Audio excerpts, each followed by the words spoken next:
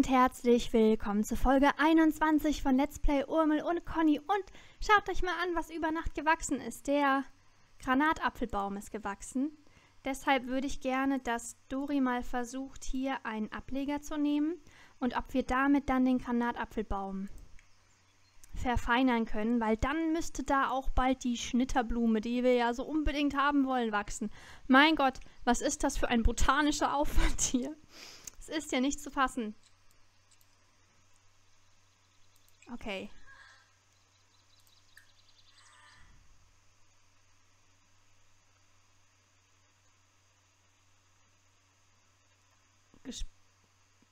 Das ist von Apfel und das ist von Orchidee.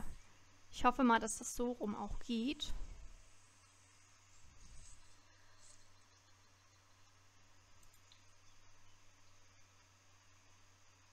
Schnitterblume und Orchidee. Nicht schlecht, nicht schlecht. Das heißt, es funktioniert hier alles. Das freut mich wirklich sehr. Kannst du vielleicht hier noch gerade mal mit Pflanze sprechen. Danach kannst du auch schlafen. Uh, und ähm, ich habe Dori auch eben, als ich die, die Nacht übersprungen habe und so mal trinken lassen. Und sie hat jetzt einen höheren Vampirrang, als sie vorher hatte. Das ist interessant. Du kannst hier dann auch mal schlafen gehen. und ähm, ich würde hier gern mal gucken. Also die Sonnen... Resistenz ist da. Das heißt, dafür bräuchte sie noch einen Vampirrang mehr. Aber ich denke mal, hier, das würde alles fünf Vampirpunkte kosten, ne? Weil hier alles mehr oder weniger drei und da zwei oder eins. Dann würde ich gerne hier mal noch so ein paar Immunitäten dazu holen. Ich könnte das hier auch wieder weg. Okay. Was könnten wir denn noch machen? Mesmer mesmerisieren versetze einen anderen Sim in Trance, werde am Abend stärker.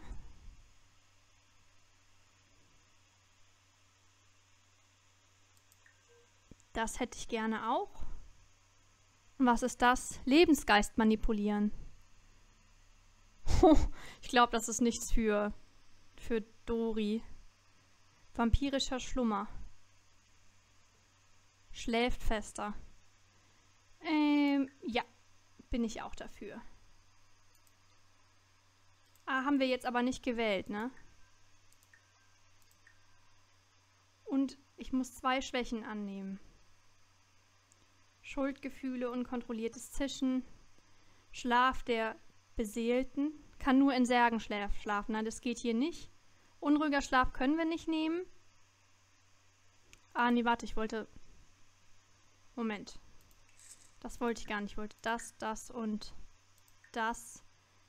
Dann dünnhäutig wollten wir auch nicht nehmen.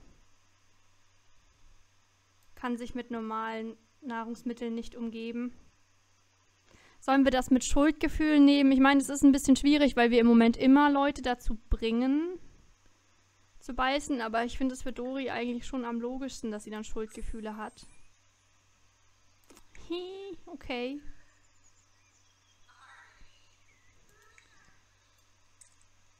Was macht Reinecke?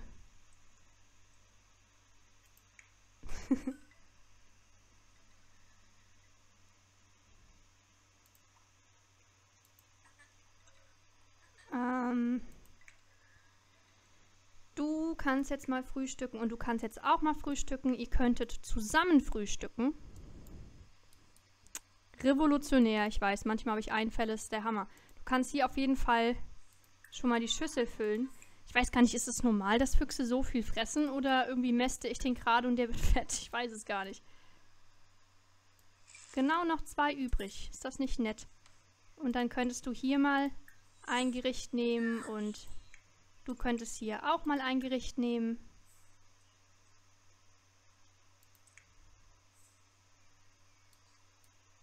Das ist ja noch gut.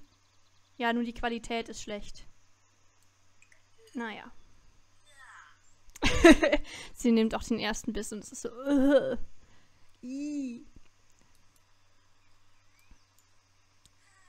das tut mir leid, aber es ist ja jetzt bald aufgegessen. Da wächst sie endlich, unsere Schnitterblume. Wir kommen dem endlich näher, Leute. Wir kommen ihm tatsächlich näher, unserem Ziel hier.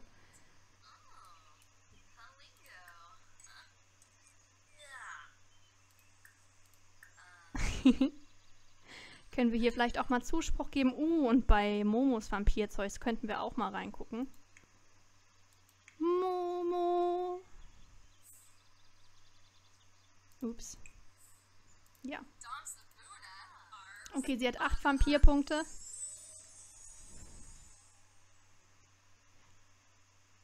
Befehligen. Kontrolle die Gedanken eines Sims. Ich glaube, das wäre das, was sie nehmen würde.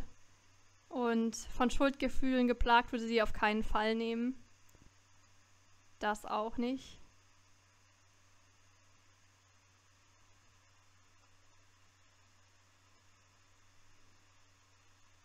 Ich glaube, sie würde vielleicht auch trockener Magen haben. Nehmen wir das mal so.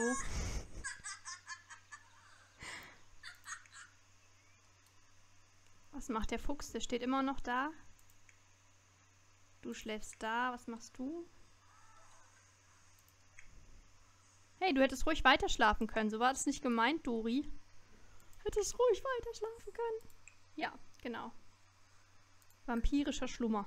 Mach das mal. Genau. So.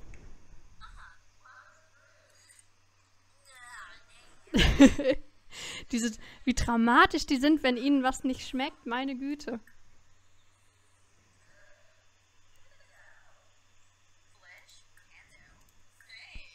Oh, sie sind so goldig. Ich würde ja gerne über, über Brian reden, aber...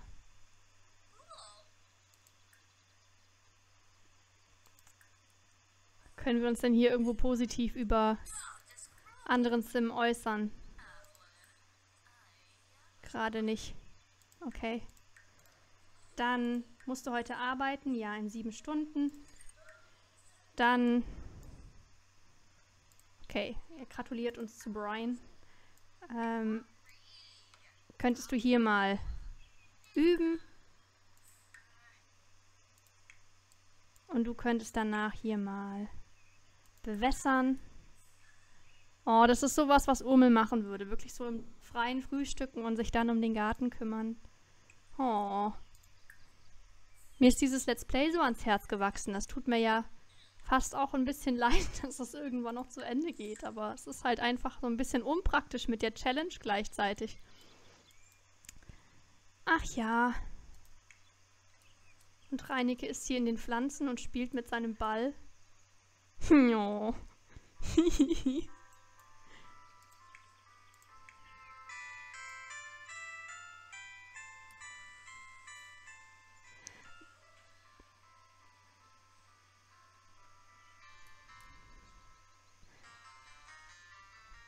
und irgendwer, ja.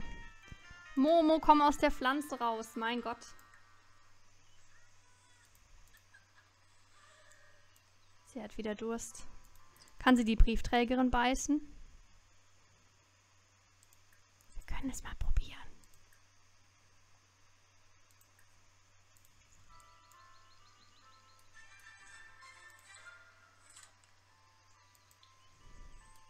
Kann auch sein, dass sie das im Moment nicht kann, weil geschwächt. Uh. Und die hat anscheinend jetzt Feierabend.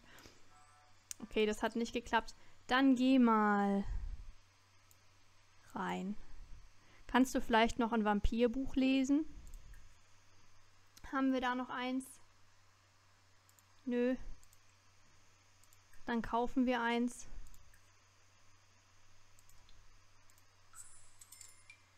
Kannst das lesen, vielleicht dich da hinsetzen.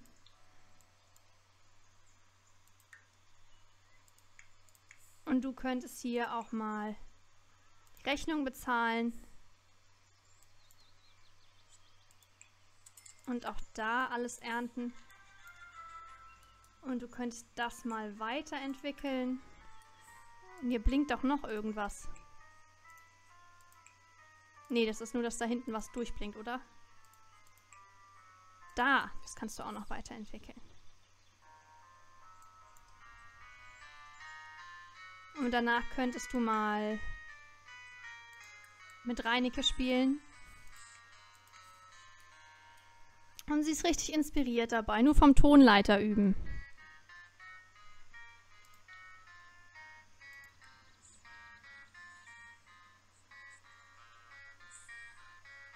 Schon Level 6. Nicht schlecht. Okay, und danach müsste sie auch mal auf Toilette. Können auch schon mal verkaufen, was du im Inventar hast. Dann haben wir, denke ich, bald auch schon das drin, was wir... Du kannst da gerade nicht spielen? Probier es einfach mal. Plasmabeutel entdeckt. Du Genie. Level 6 der Klavierfähigkeit erreicht. Wow. Das ist nicht, nicht schlecht. Hast du jetzt fertig geübt? Nee. Weil ich würde danach gern auch noch ein bisschen singen mit ihr üben. Uh, das scheint zu klappen diesmal. Oh, so ein schlauer Reinecke. Oh.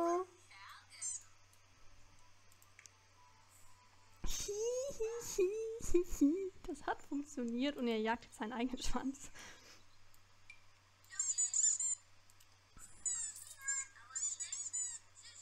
Mein Hund macht das gar nicht. Also der, wenn man dem in, in Spielzeug wirft, dann läuft er und dann nimmt er das, aber der bringt es einem nicht mehr zurück. Der behält das einfach. so nach dem Motto, du hast das weggeworfen, jetzt ist das dein Problem. Ich gebe dir das doch nicht wieder zurück, das ist jetzt meins. So. Jetzt abgeschlossen. Dann hör mal auf, dann würde ich jetzt gerne, dass du vielleicht singen übst.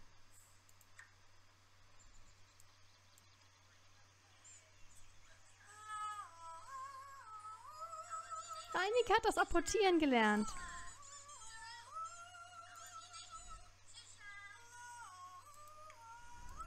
Sie singt auch schon besser, als wir das schon mal gesehen haben. Du kannst jetzt erstmal zur Toilette gehen. Und danach kannst du Liebe spüren. Oh, mach das mal zuerst. Oder mach wie du magst, ist eigentlich egal welcher Reihenfolge du das machst. Reinike singt mit. Hey, und ich will doch nur die Zwiebeln verkaufen.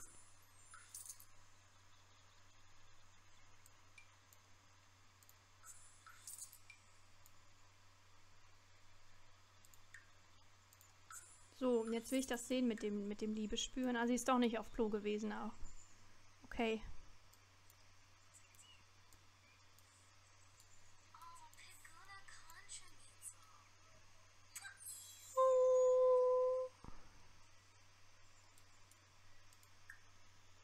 können die nochmal loben. Oder wir können auch mal wirklich aufs Klo gehen jetzt. Vor lauter Liebe komme ich nicht dazu, auf Klo zu gehen. Das ist eine Tragödie. Was ist mit dir? Du brennst wieder. Ja, dann hör doch auf, auch immer rauszurennen, Mädchen. Uh, und danach solltest du das mal bewässern kannst du weiterentwickeln. Wir können doch nicht mit Pflanzen sprechen, ne? Nee, das kann nur Dori.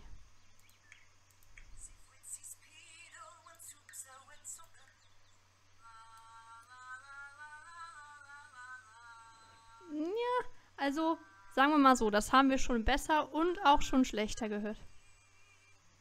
Okay, Reinecke geht rein. Das ist stummer Protest.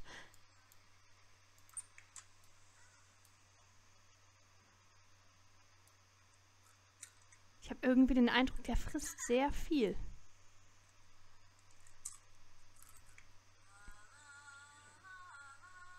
Ich kann ja noch das Level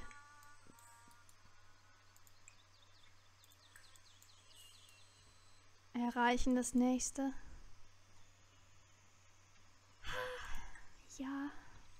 Es gibt hier immer so viele Kleinigkeiten zu tun. Ich komme gar nicht so sehr dazu, die größeren Sachen zu machen, weil es immer so, so Krimskrams, Krimskrams gibt, der ansteht.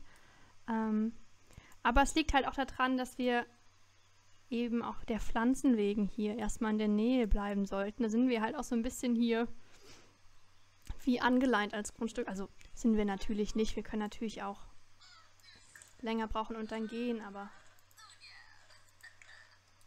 hör auf den Hund zu erschrecken. Du könntest aber hier den Napf nochmal füllen. Ich habe irgendwie Angst vor den Hund besten. Oder den Fuchs. Besser gesagt. Okay, sie kann jetzt besser singen. Das ist doch schön. Du kannst danach auch duschen. Uh, du kannst... Achte. Du kannst zur Toilette gehen. Und dann kannst du in der Dusche singen. Uh, und der Fuchs muss mal pinkeln. Mm.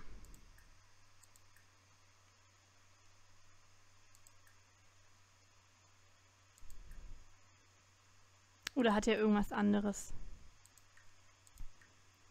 Können ihn auch mal fragen, was los ist. Vielleicht können wir ihm auch dann erst sagen, was...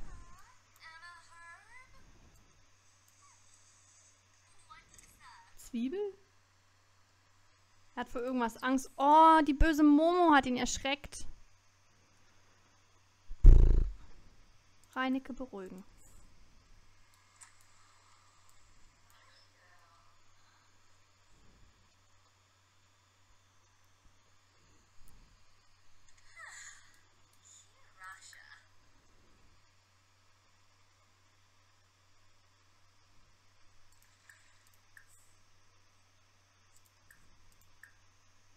Könnte den ganzen Tag nur mit diesem Hund spielen. Also mit diesem Fuchs.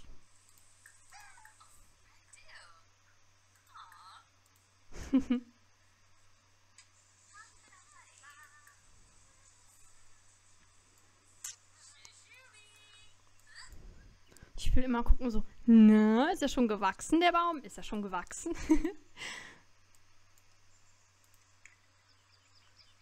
kannst nachher auch mal duschen gehen.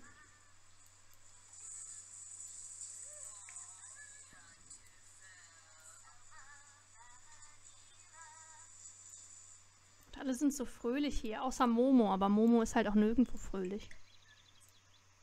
Packen wir das mal zurück.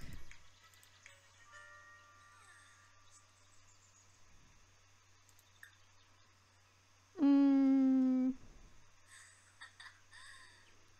Könnten eigentlich auch noch mal einen kurzen Spaziergang zusammen machen. Kurzer Spaziergang. Und du musst jetzt ohnehin jeden Moment zur Arbeit.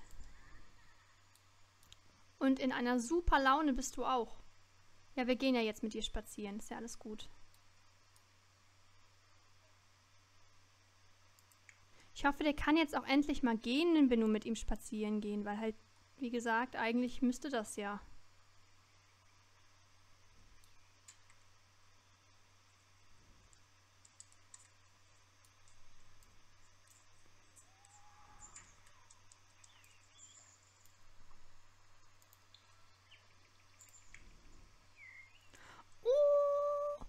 Kommt Phoebe zu Besuch.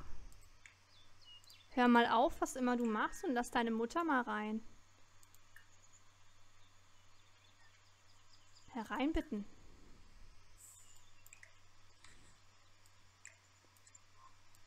Wir haben hier irgendwie, oder ich habe hier gerade irgendwie die Kiste da. Okay. Ich muss dann halt mal gerade da stehen bleiben. Dann können wir uns mit ihr noch ein bisschen unterhalten. Vielleicht können wir Phoebe bitten, ob wir von ihr trinken dürfen.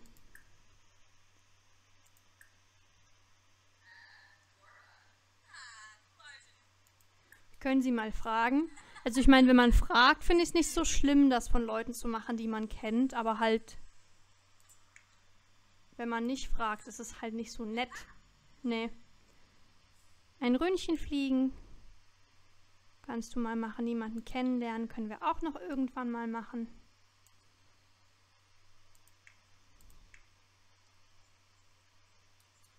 Ich hoffe, der macht jetzt bald auch mal irgendwo hier. Oh, tatsächlich macht sie. Das ist aber nett.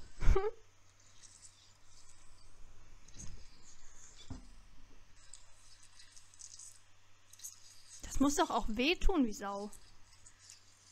Ich meine, gut, Phoebe kriegt jetzt irgendwie alle paar Tage ein Kind. Das tut auch weh, aber trotzdem ist es schon so. Ne? Ah, doch. Das funktioniert. Und dann geht Lala. Hallo Lala. Da bin ich ja froh, dass das da geklappt hat. Vielleicht war ich da auch bisher immer ein bisschen ungeduldig. Geht sie jetzt wieder?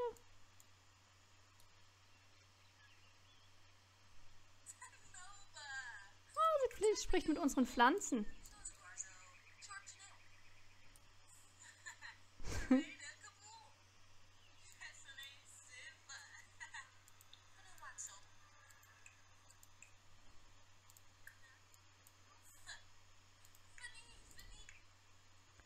Gehen immer noch spazieren, die zwei. Wird sie eigentlich heute befördert? Vielleicht nicht. Ich lasse sie vielleicht mal fleißig arbeiten. Weil ich finde, sie hätte es verdient. Sie ist so cool in ihrem Job und irgendwie hat er so viel gemacht und nö. Wer kommt da? Ach, das ist wieder sehr komische. Ja, ja. Es ist schon schön hier in Windenburg. Ich muss ja sagen, mich erinnert Brindleton Bay teilweise an so einen Strand, den ich in Schottland gesehen habe, an ähm, Lunan Bay. Ich glaube, das war im, im zweiten Schottland-Vlog am Ende. War so ein Strand, wo wir waren. Und ich finde, diese, diese Strandgegend von Brindleton Bay sieht so danach aus. Das ist richtig krass. Da ruft jemand an. Möchten wir ins Café? Nee, es ist noch zu hell dafür. Komm, Phoebe, gehen mal irgendwo hin, wo wir nicht brennen. Ja?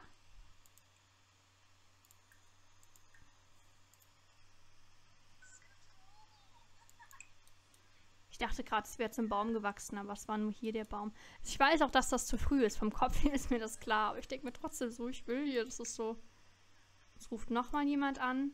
Ja, plaudern können wir gerne. Anscheinend hat Lilifee irgendwas, was sie uns ganz dringend erzählen will weil sie da so hartnäckig ist und anruft und so. Und irgendwie, eigentlich habe ich das Gefühl, dieser Fuchs ist im Prinzip, huch, denkt man an nichts Böses und auf einmal ist man im Gesträuch. Ähm, ist im Moment fast schon so ein Vollzeitjob für, für, für Urmel. Aber die sind halt auch so goldig zusammen. Hihihi. Hey, du sollst dich mit deiner Mutter unterhalten, nicht irgendwie dich im Bücherregal verstecken. Die möchte bestimmt wissen, wie es vorangeht.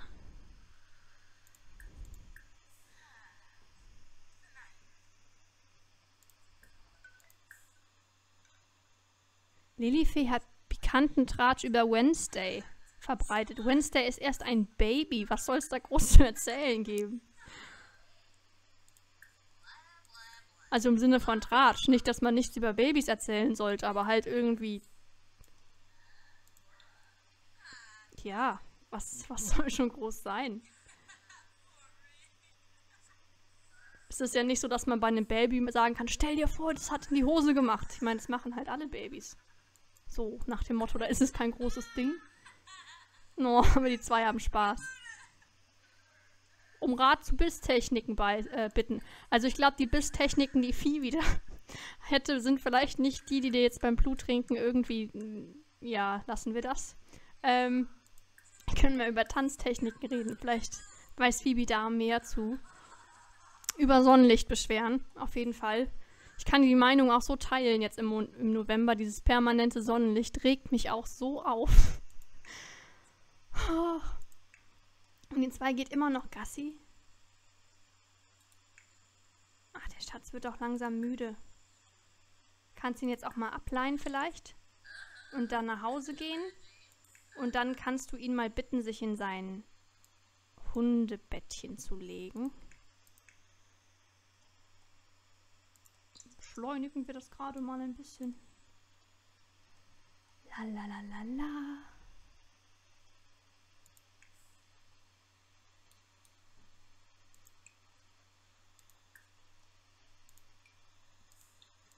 Und Phoebe muss gehen. Die geht auch immer bis zum letzten Ende hier. Es dauert immer eine Ewigkeit, bis die mal wieder heimkommt. Oh, der liegt mit dem Bauch nach oben hier.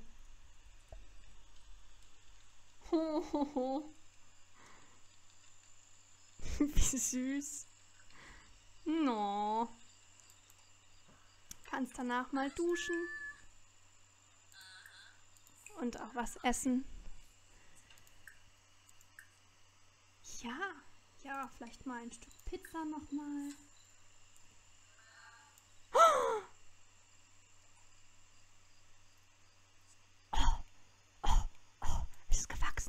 Oh, jetzt müssen wir nur noch warten, bis man es ernten kann und dann können wir, uh, dann können wir sie zurück ins Leben holen. Dann können wir das Ambrosia-Dings kochen, wenn dann noch Brian einzieht. Uh, ist das alles aufregend? Hihihi. Okay. Werd ein bisschen über, übermotiviert hier. Oh, aber. Und befördert wurden wir auch noch. Meine Güte, also im Moment läuft es bei uns, aber richtig. Was bist denn du jetzt? Berufspianistin. Krass. Ein Bonus von 1000. Und wir haben ein klassisches Antikklavier erhalten. Das können wir zwar hier nirgendwo hinstellen, aber danke. Krass. Ja. Dann, wenn das keine erfolgreiche Folge war, dann weiß ich es auch nicht. dann, ähm, ja, beende ich die Folge hier. Ich bedanke mich fürs Zusehen. Ich wünsche euch noch einen wunderschönen Tag und wir sehen uns in der nächsten Folge. Ciao!